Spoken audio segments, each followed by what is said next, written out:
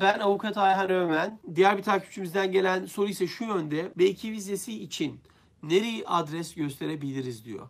Şimdi siz Amerikan konsolosluğuna başvurduğunuzda e, vize görüşmenizde size şunu sorabiliyor. Herhangi bir Amerika'ya e, gitmeniz için bir ön planınızı yaptınız mı ya da yapmadınız mı? Şimdi tabii ön planınızı ya da hazırlıklarınızı yapmışsanız dolayısıyla ne zaman geleceğiniz, nerede kalacağınız tarzı bilgileri belirlemiş durumdasınız. Eğer bu noktadaki süreçleri belirlemişseniz o zaman kalacağınız adresi ya da bir arkadaşınıza geleceksiniz onun adresini ya da yakınınızsa yakınınızın adresini yok eğer böyle bir durum yoksa otelde kalacaksanız bir otel adresini belirlemenizde fayda vardır. Ama tabii şunu da unutmayın sonuçta eğer herhangi bir travel planı daha yapmadıysanız, seyahat planı yapmadıysanız bunu da e, Amerikan konsolosluğuna iletiyor olabilirsiniz. Dolayısıyla vizenizi aldıktan sonra bu e, randevuyu ya da işte e, rezervasyonları yapacağınızda iletebiliyorsunuz diye sorunuzu cevaplamış olalım.